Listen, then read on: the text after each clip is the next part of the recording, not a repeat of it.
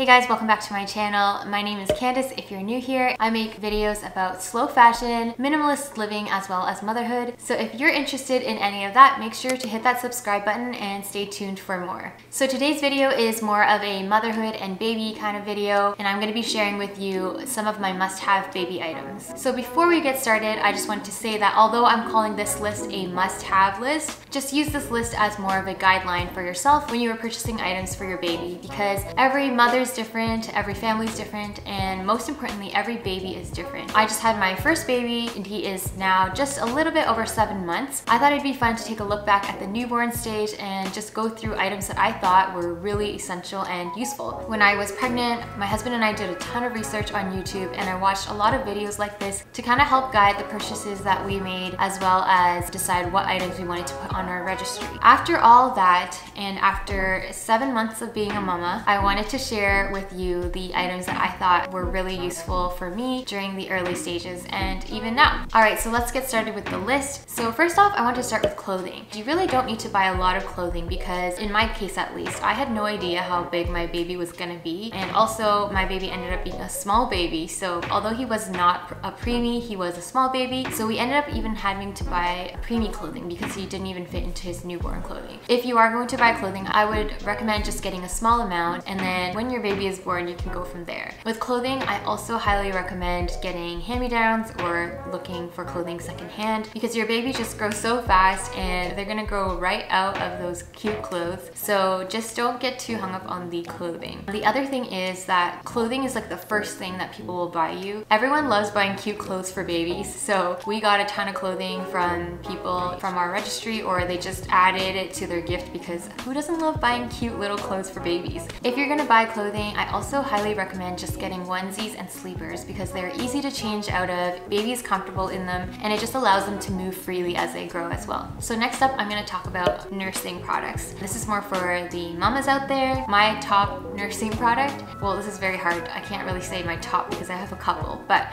very high up on the list is the Haakaa silicone pump. It was great for just collecting letdown and it's a really easy way to build your milk stash. So I highly recommend getting the The next step is to have a really good nursing pillow that is adjustable around your waist. So I had one of those that just strapped on originally and it just didn't work for me. It depends on your body, it depends on your baby. There's like a lot of different factors. If you have friends that have different nursing pillows, I would recommend just asking if you can borrow them for the first couple of weeks and just figure out which one you like before actually purchasing it. Because I got one from my registry and I thought it was cute. I had no idea which nursing pillow would be good and it ended up just not really working out for me as a nursing pillow. I now use that as a lounger. Now that baby can sit up, it can prop him up. But I actually preferred the Brest Friend. I will leave this product down below. The one I got originally was the Boppy pillow, which just kind of like hugs your waist and it doesn't have a strap. And I found that to be really difficult because my baby just kept slipping into the crack or the pillow would just not sit properly and it made nursing really difficult, especially as a first time mom. Breastfeeding is hard enough, so I recommend just getting a good breastfeeding pillow because that will make a huge difference in your nursing journey. So the next item are burp cloths. And this item is kind of dependent on your baby, whether they spit up a lot or not. My baby spat up a lot and we changed our burp cloths at every feed. So they were really useful for us. What I would recommend is maybe buying one small pack and then going from there. If you find that your baby spits up a lot and you find find them useful, then you can purchase some more. So the next thing is to have a really good breast pump because having a good breast pump will help you when your milk comes in and you want to build your stash or if you decide to um, exclusively pump, a breast pump is extremely useful to have around. So make sure to invest in a good one. Next I'm going to talk about some sleep items. So the most important thing is a sound machine. Make sure you get a sound machine. It's a great way to drown out any noise that may wake your baby up. There's always a lot of construction in our area and the sound sound machine is a game changer. So the sound machine that we have is the Hatch, which we really love. It has a little night light and there's different sounds as well that you can pick from. We choose the washing machine sound, but you can choose whatever sound you like. I will leave the one that we have in the description box below. And then the next item are sleep sacks and sleep gowns. A sleeping gown is like a shirt, but it has no legs. So there's just like a big hole at the bottom, which we found really helpful in the newborn stage where we had to change the diaper all the time in the middle of the night and just makes diaper changes really quick and simple at night without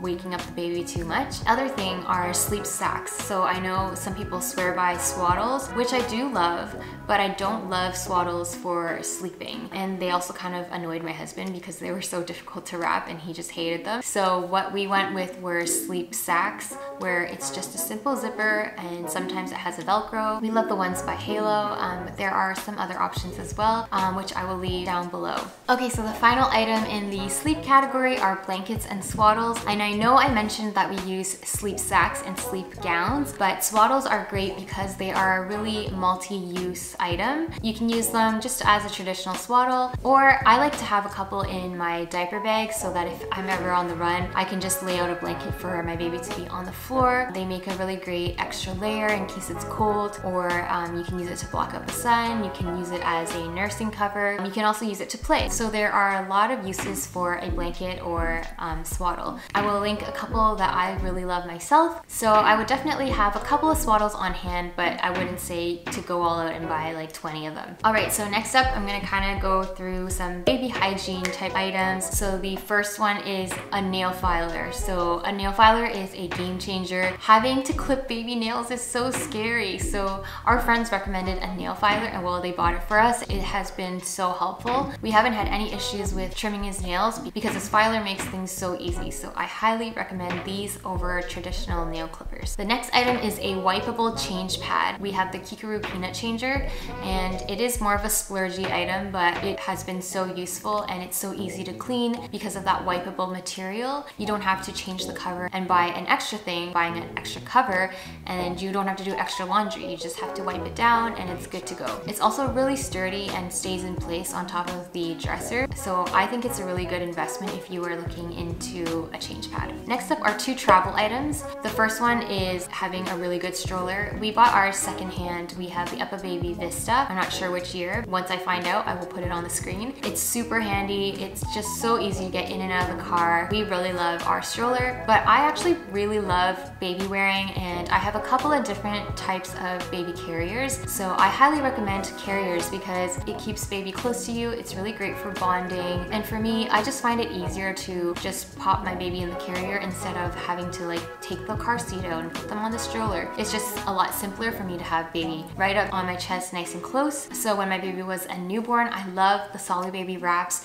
It keeps baby really nice and tight up on your body. And because he was so small, he couldn't fit into a lot of other type of carriers until he gained a lot more weight. So the wraps were perfect. And then now that he's a bit heavier, I love the Sakura Bloom Scout Carrier. I use it all the time. We go on walks every day. You can wear a baby at home while you do chores. It's just super handy to have around. So I highly recommend having some kind of baby carrier. So the last item is a soft mat or a soft surface for your baby to lay on. I just love laying out a couple blankets or just having a mat so he can be free to move his arms and legs as well as observe his environment. I highly recommend getting a really nice mat as well as a play gym. Play gyms are really great. I have this one from Coco Village which I can move around and you can also change out the items on the gym. It's a really fun item for babies to play with as they grow and develop and also now that my baby is sitting up he can sit up and play with it. So it is an item that you can use for longer than just a couple of months.